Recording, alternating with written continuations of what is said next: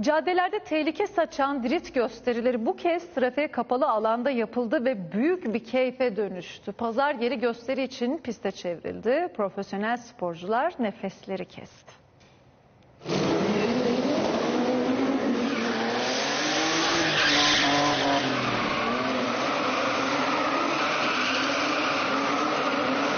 Hız, adrenalin, heyecan hepsi bir araya geldi. Hızlı ve Öfkeli filmi Ankara'da gerçeğe döndü.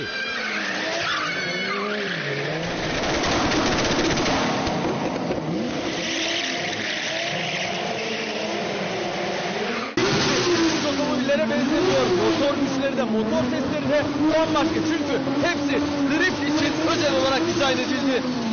Benim aracım 3000 cc 700 beygir bir araba. Güçlü bir arabadır yani.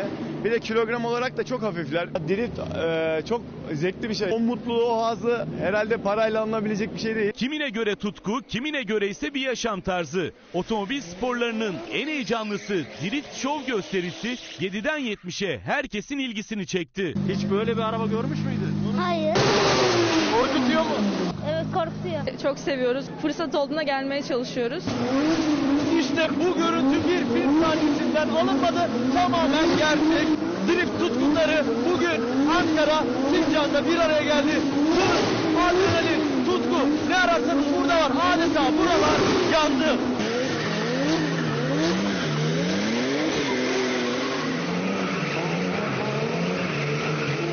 En ufak bir hatanın sonucu ağır olabilirdi. Yani drift tam bir ustalık gerektiriyor. Zaten direksiyon başına geçenler de hem ustalıklarını hem de hünerlerini özenle sergiledi. Drift deneyiminde şimdi sıra bizde bir de drift deneyelim.